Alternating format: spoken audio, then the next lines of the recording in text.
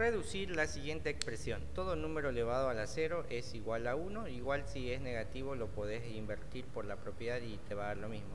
Este negativo para que se vuelva positivo lo bajamos abajo. Aquí también lo mismo, bajamos a positivo.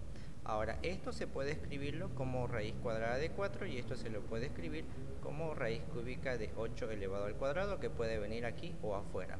Ahora observa, raíz cuadrada de 4 es 2, raíz cúbica de 8 es 2, pero esto está elevado al cuadrado, entonces tenemos 1 menos 1 medio y aquí nos daría un cuarto porque 2 al cuadrado es cuarto.